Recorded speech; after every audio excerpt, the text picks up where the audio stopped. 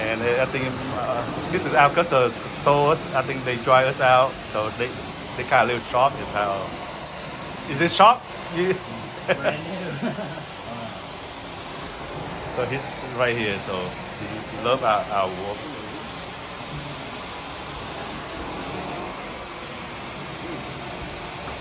So that's why we have a good review when when your wife found us on Google. Yeah.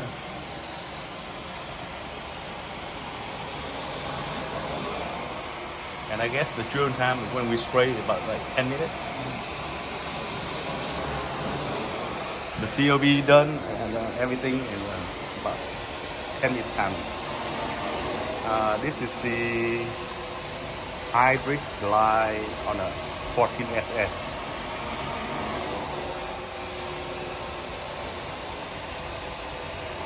That's how beautiful it is.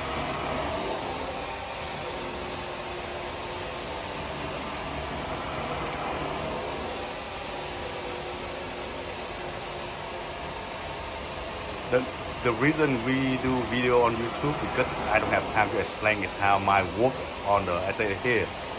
I work on the YouTube. I go shoot you the video. You like it, you book because I don't have time to explain because we work it you, you know, right? So sometimes, guys, if you don't have the YouTube, why do the YouTube uh, channel?